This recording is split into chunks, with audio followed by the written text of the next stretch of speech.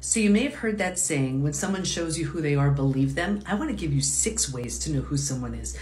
Dr. Debi here. One of the things that we do is, we, you know, you want to look for congruency and consistency. When someone's acting one way but saying something else or when their their mannerisms are one way but they're conveying something else something's off you know and it's almost like things are misaligned you're looking for alignment and the way to find that alignment is when ready here are the six the thoughts the behaviors, the actions, the habits, the mannerisms, and the energy are all aligned. For example, someone's like, Yeah, I'm listening. No, they're not. You know, or they're turning away. You know, check that body language. They're not really receptive. Or they're leaning back. They don't really want to hear what you're saying or you know they're they're looking off into now it's one thing to look off like this when you're thinking but when they're trying to convey the truth let's say you're looking for the truth and they can't look at you trust that right? Or let's say the mouth is smiling but the eyes aren't and it's like a creepy weird you know not botox thing. It's just their, their face isn't smiling right.